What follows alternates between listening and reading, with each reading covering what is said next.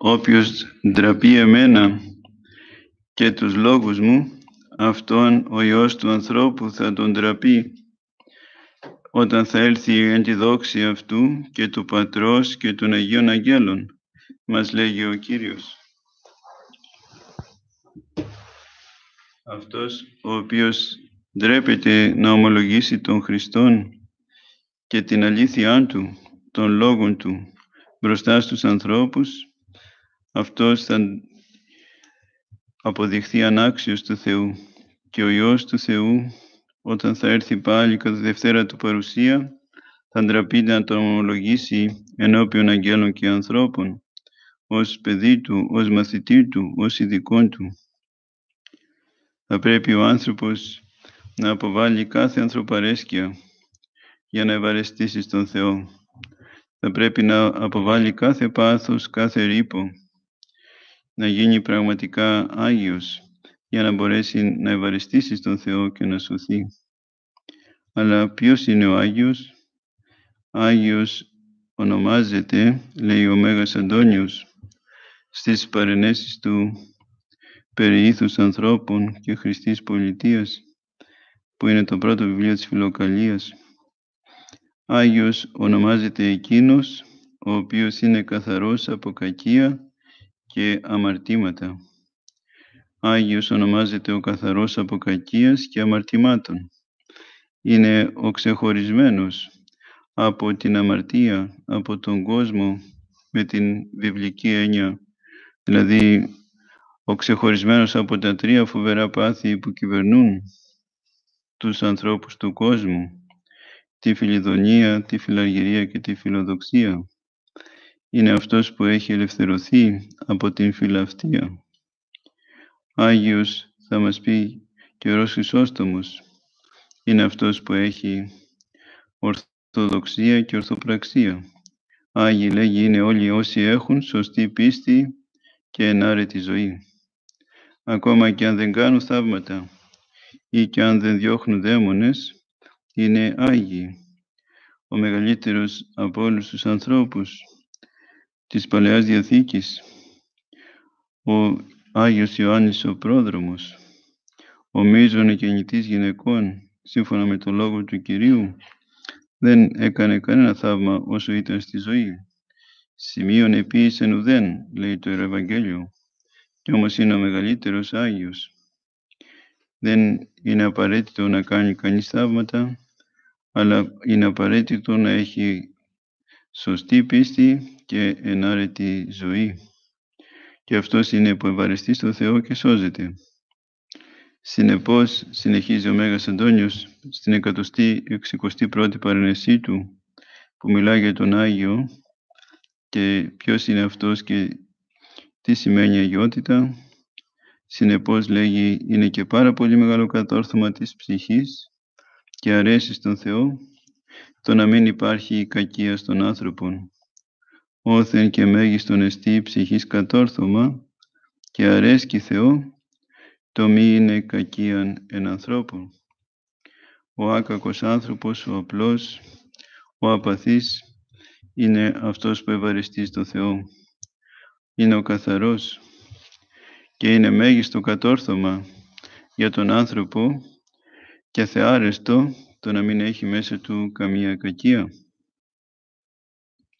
Πώς όμως μπορεί κανείς να γίνει Άγιος; Το βρίσκουμε μέσα στις συμβουλές, στις οδηγίες, στις παρενέσεις, στις διδασκαλίες των Αγίων Πατέρων.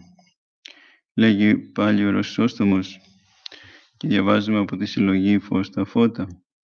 Τα απότομα εντός αγωγικών, λέει ο Άγιος, προκαλούν επικίνδυνους κραδασμούς.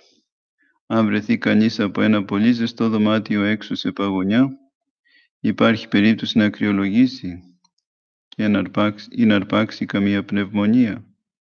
Και στον πνευματικό χώρο οι απότομες αλλαγές είναι δύσκολες. Δεν μπορεί να γίνει κανείς μέσα σε μια στιγμή Άγιος. Όλα χρειάζονται χρόνο, κόπο, μέθοδο, αγωνία, αγωνία, καλή αγωνία. Αυτή είναι η συνήθεια των Αγίων, λέει πάλι. Εάν κάνουν κάτι κακό, το δημοσιεύουν και κάθε μέρα θρηνούν. Δεν κρύβουν δηλαδή τα λάθη τους, τα παραδέχονται και κλαίνε γι' αυτά και μετανοούν και έτσι διορθώνονται. Όταν όμως κάνουν κάτι γενναίο, το αποκρύπτουν και δεν μιλούν καθόλου γι' αυτό. Όταν είναι κάτι καλό, οι Άγιοι δεν το δημοσιοποιούν. Γνωρίζουν ότι το γνωρίζει ο Θεός και αυτό είναι αρκετό για αυτούς.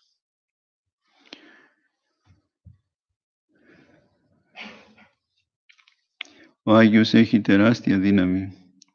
Ας έχουμε, λέει ο Ιερός Όστομος, κοντά μας τους Αγίους και δεν πρόκειται να μας συμβεί τρικυμία. Ή και αν συμβεί, γρήγορα θα έρθει η καλοκαιρία και γαλήνη και απαλλαγή από τους κινδύνους. Εκείνη η χείρα στην Παλιά Διαθήκη, επειδή φιλοξένησε Άγιο, τον προφήτη Ηλία, είδε το θαύμα. Καταργήθηκε ο θάνατος του παιδιού της και το ξαναείδε ζωντανό. Όπου ποταμούν πόδια Αγίων, κανένα λυπηρό δεν πρόκειται να συμβεί. Ας φιλοξενήσουμε στα σπίτια μας τα λιοντάρια του Πνεύματος, τους Αγίους, και τότε όλα τα θηρία θα τραπούν σε φυγή. Ο βρυχιδμός ενός λιονταριού δεν φυγαδεύει τα θηρία, όπως φυγαδεύουν τους δαίμονες οι προσευχές του Αγίου. Φέρτε σε πόλεμο ένα εκατομμύριο ανθρώπους και έναν Άγιο και θα δούμε ποιος θα νικήσει. Φυσικά ο Άγιος. Βγήκε τότε ο Ιησούς του να βγει σε πόλεμο, λέει ο Ρησόστομος. Μόνος τα κατόρθωσε όλα, ώστε οι άλλοι σε τίποτε δεν ωφέλησαν. Ο πολύς όχλος, αγαπητέ, όταν δεν εφαρμόζει το θέλημα του Θεού, καθόλου δεν διαφέρει από το μηδέν. Δεν είναι θέμα λοιπόν ποσότητος μάζας ανθρώπων, αλλά είναι θέμα αγιότητος. Και ένας μόνο άνθρωπος, όταν είναι Άγιος, νικά πλήθος. Στον κλέφτη, εχθρός είναι το φως και στους ασεβείς, ανυπόφερος είναι ο Άγιος και μόνο που τον βλέπουν. Δεν αντέχουν στη λάψη της ζωής του,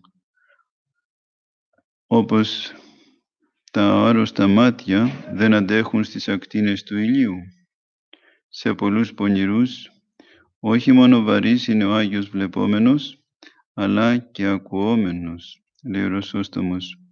Όχι μόνο δεν θέλουν να δουν, αλλά ούτε και να ακούσουν για τον Άγιο. Όταν θέλουμε να παρακαλέσουμε έναν Άγιο, συμβουλεύει ο Άγιος Γαμπρίλ, ο διαχριστός αλός, όταν θέλουμε να τον παρακαλέσουμε για κάτι, πρώτα λέγει να κάνετε το σταυρό σας στο όνομα της Αγίας Τριάδος. Έπειτα πείτε την προσευχή της Παναγίας, χαίρε και χαριτωμένη Μαρία.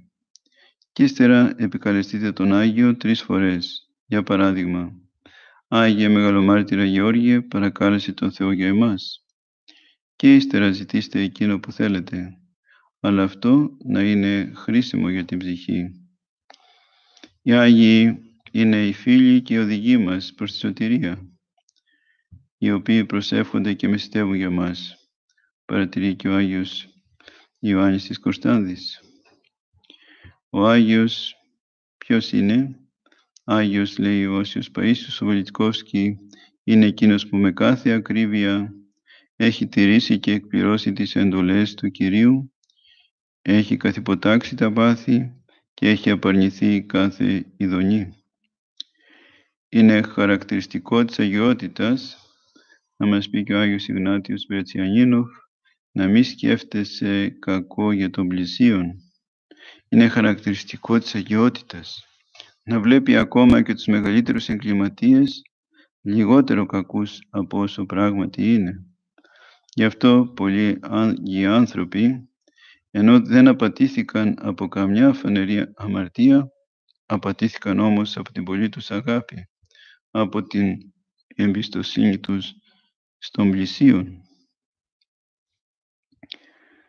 Ας αγαπήσουμε λοιπόν και εμείς αγαπητοί αδελφοί την αγιότητα. Ας την ποθήσουμε και ας εργαστούμε για, για αυτήν.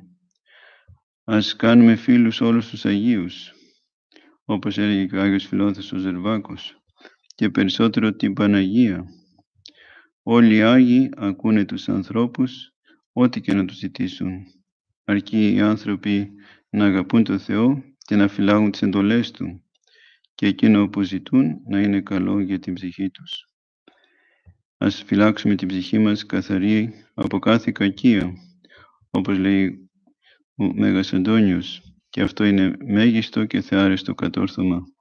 Και έτσι θα ευαρεστήσουμε στον Θεό και θα αξιοθούμε της Βασιλείας Του.